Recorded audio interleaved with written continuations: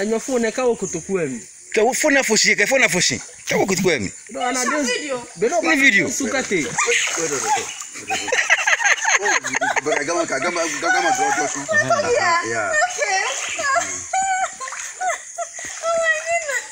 hado gama kaka bo jima to yeah ni mo mo yo ne bute nini eh plante plante Take your time.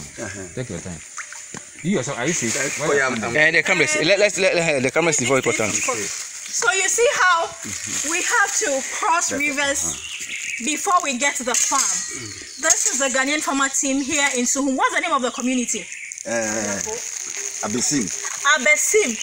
Hey, today be today. Okay. Maria. Sorry. It's okay. oh my goodness. Corporate Ghana, please, we need your help. We need some small bridge on a river like this to make crossing to the farm very accessible for both farmers and commuters who are coming to buy, or probably people like us, the media, who is coming to cover a cabbage farm here to put on YouTube and also on TV for you to know more about cabbage farming here in Ghana. So come with me. Now I've been able to cross, so let me, you know.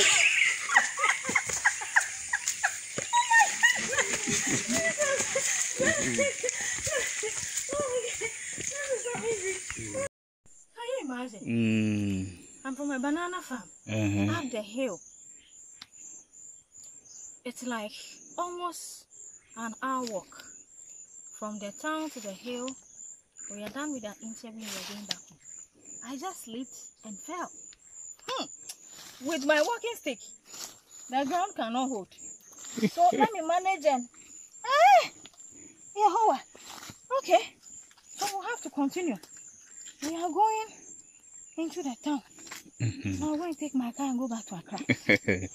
the journey is not an easy one. Mm-hmm. We need to appreciate our farmers. Honestly speaking, it's not an easy work.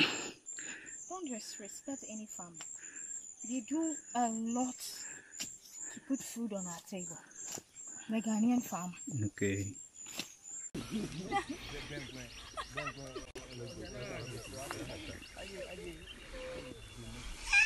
You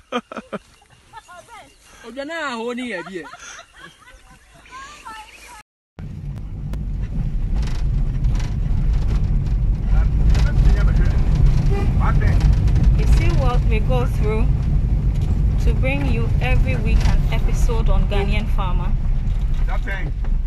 Yes. We are in the deep forest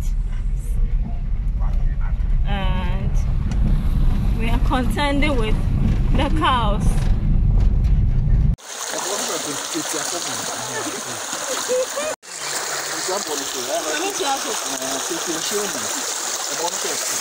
Example,